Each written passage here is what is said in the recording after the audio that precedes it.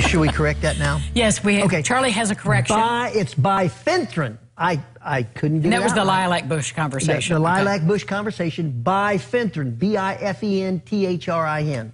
And, and actually, that's what you want to spray your burning bush with now. Because your burning bush later on in the season will start showing a browning of the top of the uh, uh, plant, and you'll say, "What can I do? What caused it?" And uh, it's a uh, it's a uh, a thrip. I think it's a thrip. But what you do is you spray now with bifenthrin, and you won't have that problem later in the summer. Is that something you have to mix? No, uh, well, you mix it with water. Okay, mix Yeah, it with just water. mix it with water. Says so, it says so on the package. Very, and it's very it's a very safe insecticide. Good. Well, Charlie, Mike is on the phone for you this morning. Good morning, Mike. Good morning, Charlie. Morning. Yeah, I'd like to know how to get rid of moles without doing damage to the earthworms. Okay. Uh, without doing damage to the earthworm, or uh, because 85% of their diet is earthworms. So you want to get rid of the moles so they don't take your supply of earthworms that aerate the soil and do all kinds of good things for us. Um, what I have recommended of late is the simple wire tech mole eliminator. Rural King has a knockoff of it, and I haven't heard how good that works, but I know you can get one from Rural King. Anybody else, if you if you're a retail salesman, let us know, and we'll be more than happy to say that you offer it too. Uh, but you can go to Amazon and look up Wire-Tek, W I R E dash T E K mole eliminator. They cost about $28 a piece. You could use them forever. But the reason they work so good is they slice the mole in half. It's, it's almost sharp tongs underneath. But you set it simply by pushing your foot down on the step and it's set. That's how easy it is. And from all the accounts back to me, when I've recommended that, they can't believe how easy it is to catch moles in their yard now. But then you've got to remove the dead carcass out of that thing to set it again.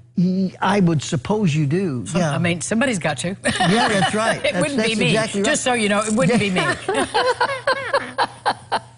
well, what else can he do besides the try that? 'cause Well, you, you've got I mean, the- you talked about castor oil or castor this is the what- this is the funniest story. But you've got the you've got the little Motomco worms that look like mimic actual earthworms, the red wigglers, and you can put those in. where they've got a heavy metal zinc phosphide in them that that will kill the mole once he eats it because he thinks it's a, an earthworm.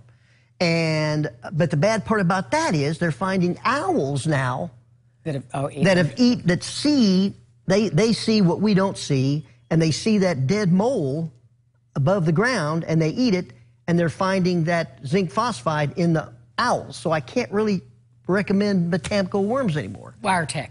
yeah Wire-Tek mole eliminator We have another caller on the phone for you. Good morning. good morning Good morning, Charlie. This is Bruce. yeah bruce I have these purple violets all through the yard. What's the best thing to put on them to get rid of them Okay. things?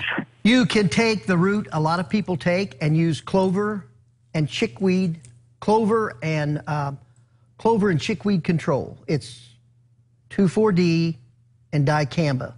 Look for something on the active ingredient on the label that says 2,4-D and dicamba. Okay, before you put that down, strangely enough, we go back to borax mix about four ounces of borax in about four to five ounces of warm water, make a slurry, then put that in a gallon and a half of water. That will cover about a thousand square foot of lawn area. You spray first all of your violets with that borax mix, borax. Wait five days, then put down your clover and chickweed control, and you will get rid of your violets or your creeping Charlie. And do they hurt anything? The violets? Do they take up grass No, space? it- I mean- we look at them as weeds because we want grass. Mm-hmm. Therefore, they're not wanted. All right. Yeah. Well, it's always an education to sit by you, Charlie. And Charlie will be back on next Monday, but he'll be on Daybreak on I'll be on Friday, Friday, too. So yeah. if you have more questions, you can Yep. call him then, and you can also watch Hey Garden Guy because I Hey, know Garden Guy Charlie Stocker, we've got some neat, neat videos New coming videos. up this afternoon. Okay. Yep. Thanks, Charlie. Thank you. we'll you. be back with more lifestyles right after this.